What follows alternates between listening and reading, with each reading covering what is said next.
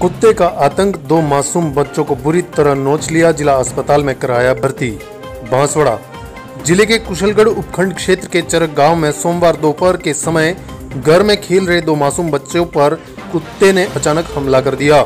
लगभग चार साल के उम्र के भाई बहन अपने घर के अंदर खेल रहे थे कि कुत्ते ने मासूम कालू नाम के बच्चे पर हमला कर दिया। मुँह व गाल पर हमला कर उसे बुरी तरह से नोच लिया। पीठ पर भी गहरे घाव पड़ गए हैं।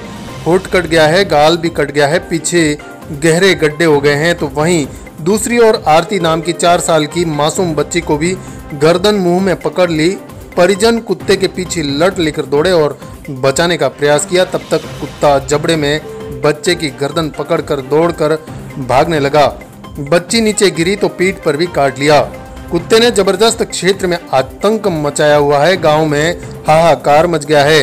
कुत्ता मोहल्ला छोड़कर जंगल की ओर भाग निकल गया कुत्ते की दहशत से ग्रामीण भयभीत हैं हाथों में लट लेकर कुत्ते की तलाश में यहाँ वहाँ घूम रहे हैं वहीं दोनों घायलों को राजकीय चिकित्सालय बांसवाड़ा में उपचार के लिए भर्ती करवाया गया है इस संबंध में परिजन क्या कहते हैं सुनिए उनकी जुबानी कौन सा गाँव क्यों कैसे काटा कहाँ से आया पूछता तो कितनी हवा